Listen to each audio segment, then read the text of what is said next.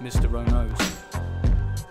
This time we're looking at Animal Farm, Paper 2, Literature, AQA, Modern Texts, an allegory from George Orwell, dystopian, um, teaching us a lot about the way that the world is, even to this day.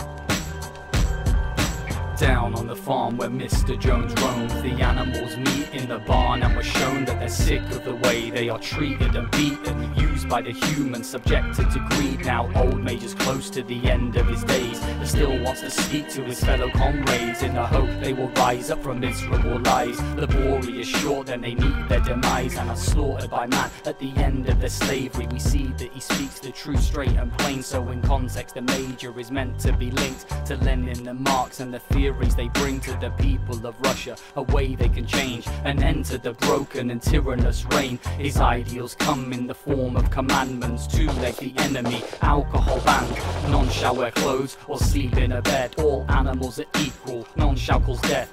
These seven principles linked to his vision of a much better world run by animalism. Squealer spreads words like a verbal vandal. In history, we see this as propaganda, teaching all the sheep how to bleat in sequence because they can't read, so can be perceived as the people in society who just believe without thinking for themselves. Easily deceived, and the language he uses is so persuasive, calling them comrades or making claims that man is the enemy and none can falter. They need unity, and his speeches hold them in a strange state of mind, so they all believe in, and knowing that deep down he keeps a secret. To begin with, they run Mr. Jones from his land. United they fight and victorious stand, and they all work together in the hope that they might start a new revolution, a nice peaceful life. Now, Boxer works hard, but he will work harder. Sets a high standard for the whole of the farm as he hopes that he'll get to rest when work is through. But in the end, he sold away and then turned to glue. No, it doesn't take long for the tables to turn when the pigs take the lead, and as readers, we learn that they're greedy indeed and are selfish and crass, especially Napoleon. In context, he acts like Stalin, power craze slightly unstable, changing the ways, putting twists in the fable. Snowball believes there is another way.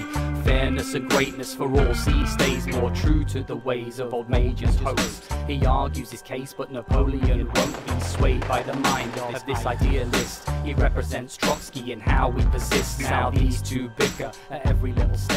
Snowball is honest while Napoleon is testing his patience, telling him the windmill is worthless, even though it offers them a practical service to ensure that they do what he says. We see the little puppies that Napoleon's raised to be killers. They carry out his evil bidding, fierce as wolves. They will attack any minute and are meant to be linked to the military, the law enforcers, and the secret police. Each animal's amazed and too frightened to speak. They chase away Snowball and kill the geese and the chickens. Any traitor meets their fate. He even then changes the name on the gate and slanders commandments and trades with the humans. The animals lose hope and fall in confusion. This illustrates to us how it comes full circle. Pigs become man, evil's universal. The pigs become man, evil's universal.